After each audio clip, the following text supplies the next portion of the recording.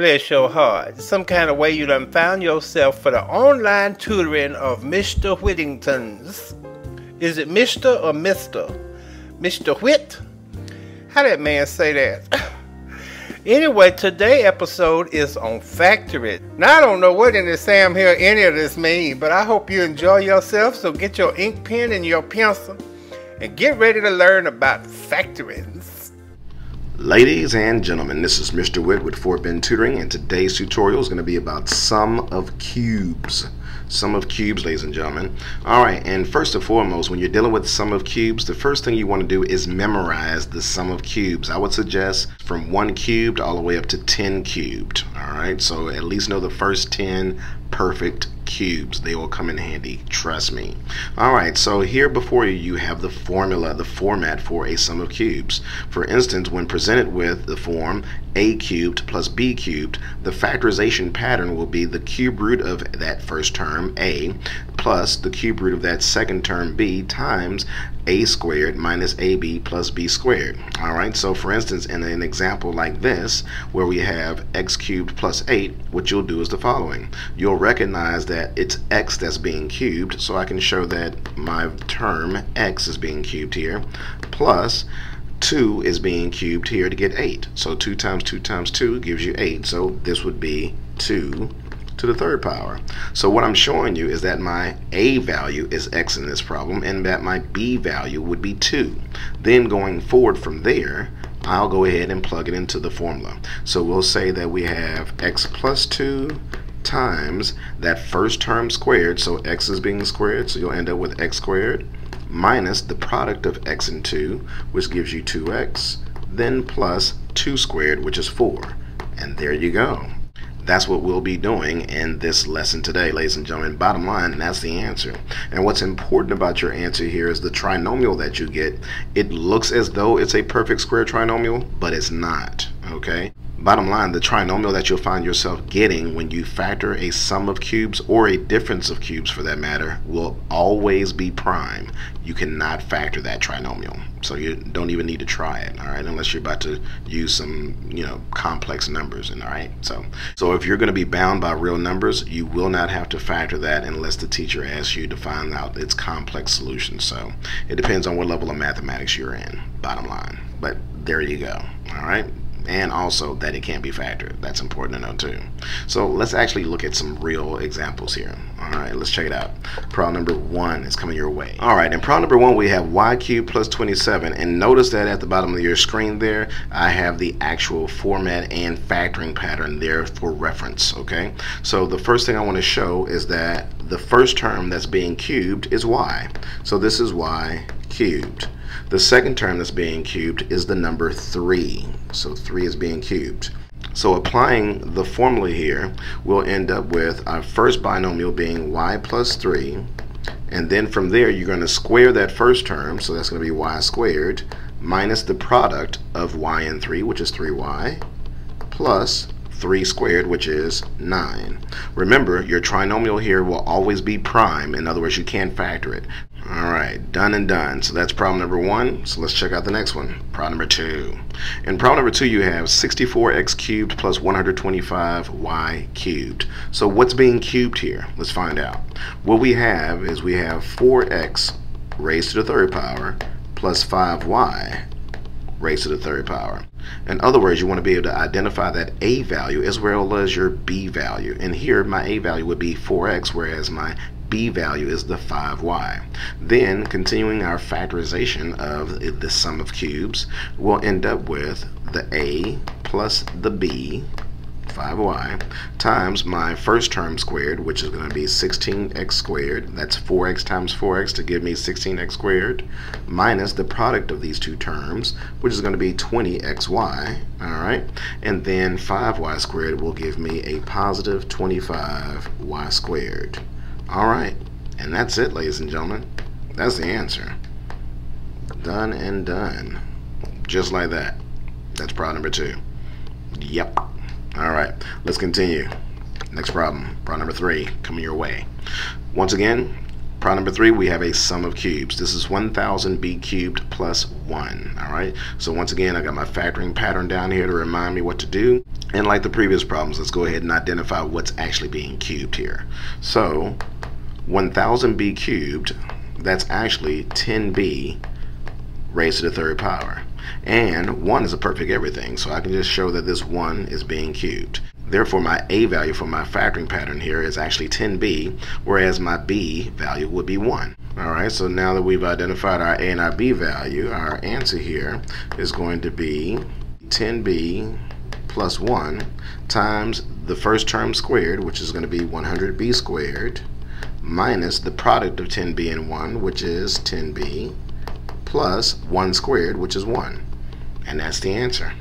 That's it.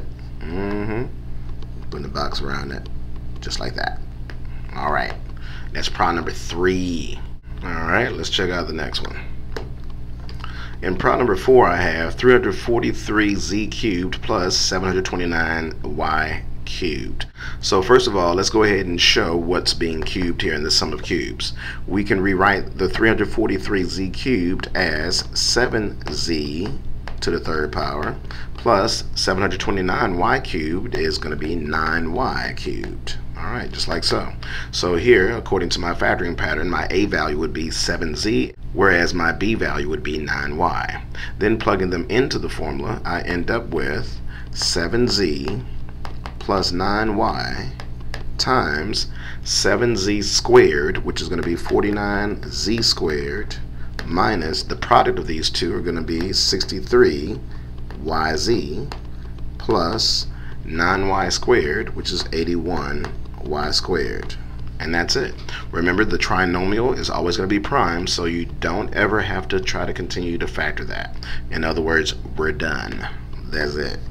Got a red box coming for you. Here it is, here it is, here it is. There you go. I don't like that red box. I'm going to fix it. Yep. The red box is important. There you go. That's not much better, but we're going to let me make it on that. Okay? All right, let's continue. Problem number five.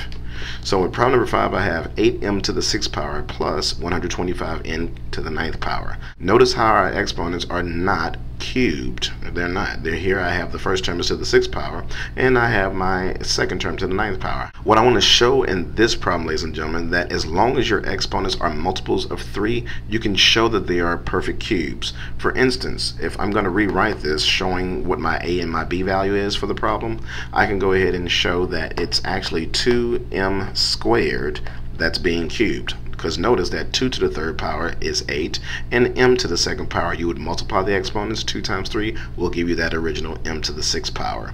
Therefore we just verified that it's actually 2m squared that's being cubed. Alright continuing that thought process we'll end up with this 125 n to the ninth power rewritten as 5n cubed and that's being cubed just like that so this would be my A value and my B value for this factoring pattern here. Let's go ahead and plug it in then.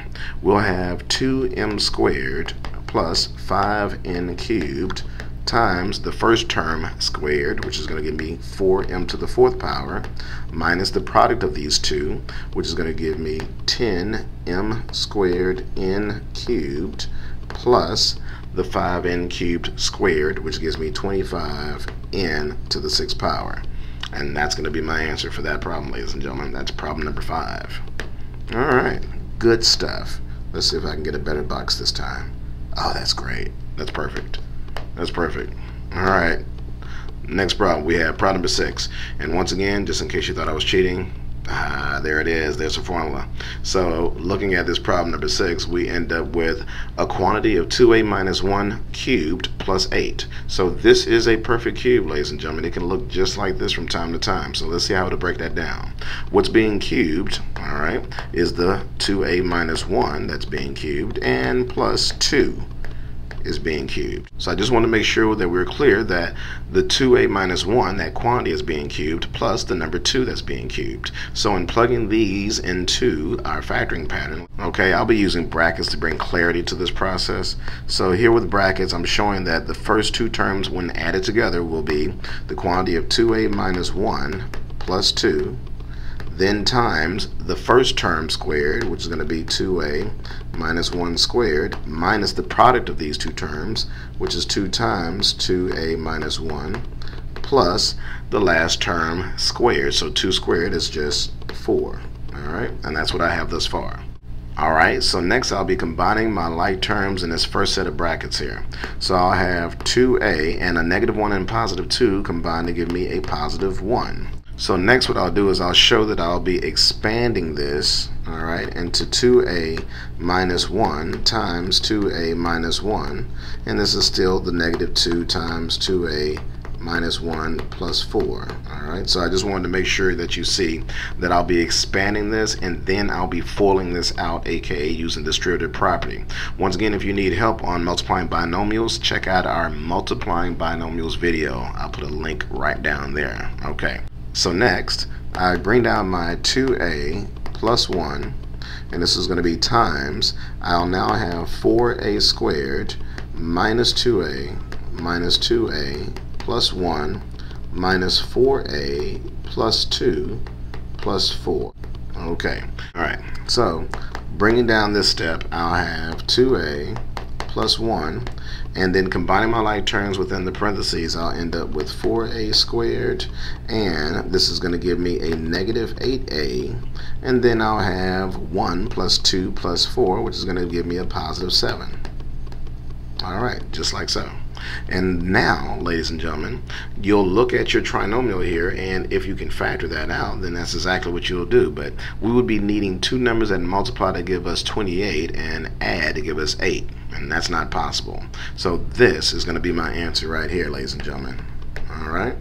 And I'll recap over this problem too. So we started out with problem number 6. We identified that the first term being cubed was 2a minus 1, that the second term was 2. And then from there, we went ahead and plugged into our formula. Our a cubed plus b cubed equals to a plus b times a squared minus ab plus b squared. Mm-hmm, that there. So what we next have is me adding the 2a minus 1 plus the 2. We're going to square that first term, that 2a minus 1, so we squared it, minus the product of these two, plus the last term squared, which is 2 times 2, which is 4. From there, we expanded that 2a minus 1 squared and combined our like terms in this first set of brackets here. And after foiling it out, we ended up with the 4a squared minus 2a minus 2a plus 1. And then I distributed that negative 2. Let's go ahead and show that I have those arrows pop in there. And then we ended up with negative 4a plus 2 plus 4. Combining everything, all right, we end up with the answer 2a plus 1 times 4a squared minus 8a plus 7. And this trinomial here is not factorable. So that's our answer. Done and done, ladies and gentlemen. So once again, we were happy to bring you Sum of Cubes. This is Mr. Whitt with Fort Bend Tutoring. Please rate, comment, and subscribe. And if you're able, please donate. Peace. F A C T O R I N G this includes topics such as GCF, that's the greatest common factor, like Obama, the difference of squares, quadratic trichomoniasis, oh Lord, that's when the pig is sick on all four sides, the sum of cubes, that sounds like one of them games they play, difference of cubes, oh, that's just ignorant. AC method. Yes, honey, because you got to have your air conditioning in Texas. And factoring by grouping.